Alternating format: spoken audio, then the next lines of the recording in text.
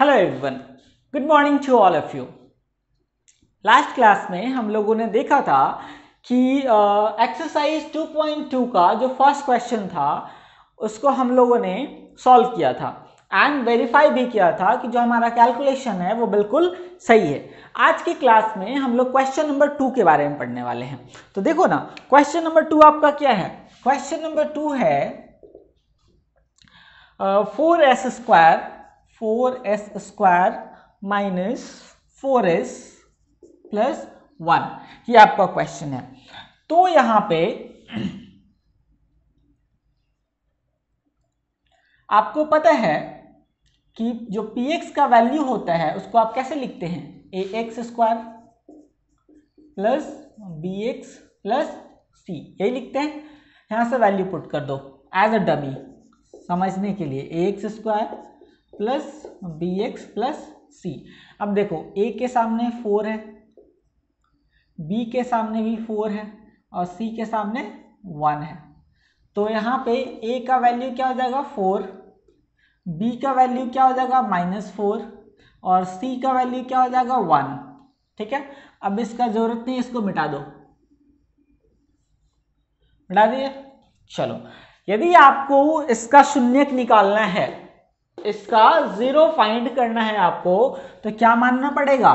आप ऐसे भी मान सकते हो कि पी एक्स इक्वल टू क्योंकि ये पोलिनोमियल है तो पी एक्स मान लेते हैं P X equal to four S square minus four S plus one लेकिन फिर आपको इसको ज़ीरो करना ही पड़ेगा, इसलिए पहले ही मान लो कि let this equal to zero now अब इसको ब्रेक करना है आपको तो ब्रेक करो, फिर कैसे करोगे?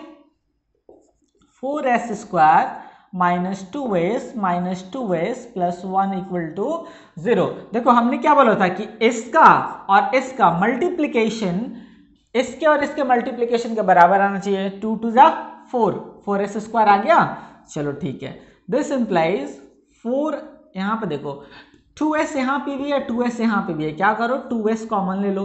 तो टू एस इसमें से निकालोगे तो क्या बच गया? टू एस देखो ना टू टू जा फोर एस को एस से मल्टीप्लाई करोगे तो एस स्क्वायर तो टू टू जा four S square minus one इसमें से टू एस निकाल ही लिए तो वन ही ना बचेगा। चलो माइनस अब यहाँ पे देखो वन कॉमन ले लो।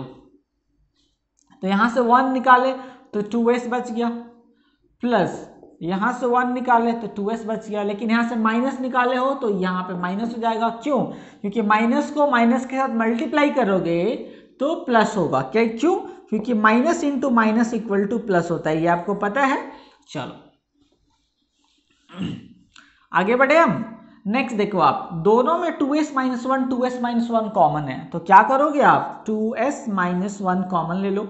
यहाँ से टू एस माइनस वन आपने कॉमन लिया तो क्या बचा? टू एस और यहाँ से two S minus one common लिया तो यहाँ पे क्या बचा? Minus one. दिस इंप्लाइज अब देखो आप, टू एस ये तो आपका ज़ीरो है, सबका सब आपका ज़ीरो है। अब देखो आप, ये टू एस माइनस वन भी ज़ीरो के बराबर है एंड ये टू एस माइनस वन भी ज़ीरो के बराबर है। दिस इंप्लाइज एस का वैल्यू जो होगा डायरेक्ट मत लिखो टू एस ये माइनस वन इक्वल के इस साइड आएगा तो प्लस वन हो जाएगा। This implies S equal to क्या हो जाएगा? ये टू इक्वल के इधर आएगा तो नीचे फ्रैक्शन में आ जाएगा।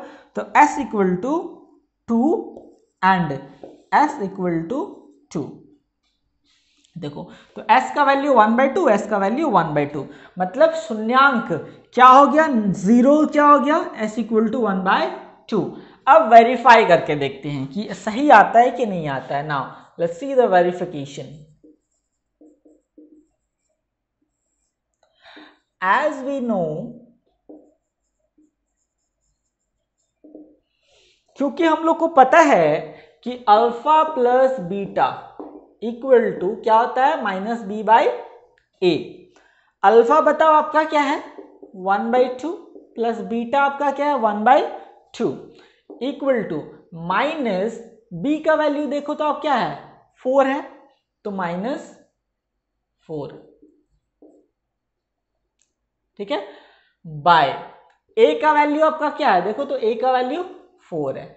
दिस इंप्लाइज आधा और आधा को जोड़ोगे तो कितना हो जाएगा? फुल मतलब वन नहीं समझ में आया? चलो एलसीएम ले लेते हैं. टू टू का एल्सियम लोगे तो टू होगा। टू से टू कट गया, one plus one equal two देखो, फोर फोर कट गया माइनस माइनस प्लस हो गया। तो वन दिस इंप्लाइज वन और one two divided by two equal to one this implies one equal to one पहला तो verified हो गया। हो गया ना? अब आते हैं मल्टीप्लीकेशन वाले में। Alpha into beta equal to value क्या होता है? सी बाई ए पता है? अब देखो अल्फ़ा का value one by two into beta का वैल्यू भी one by two equal to C देखो कहाँ है? सी वन है. बाय ए क्या है? फोर है. अब ये कहाँ से लाए? देखो ना, यहाँ पे शून्य जो है अल्फ़ा जो है अल्फ़ा जो है वन बाई टू है और बीटा जो है वन बाई टू है. ठीक है? अब देखो आप वन बाई टू को, वन बाई टू के साथ मल्टीप्लाई करोगे, वन बाई फोर हो जाएगा, वन वन जा वन, टू टू जा four equal to one by four. ये भी वेरीफाइड हो गया। बहुत इजी है। चलिए तो आपका क्वेश्चन नंबर टू भी खत्म हो चुका है। मिलते हैं हम लोग नेक्स्ट क्लास में नेक्स्ट क्वेश्चन के साथ। Chill then thank you question हो तो क्वेश्चन पूछना मत भूलिएगा। आप कमेंट बॉक्स में अपना क्वेश्चन टाइप करिए। चलो, मिलते हैं नेक्स्ट क्लास में।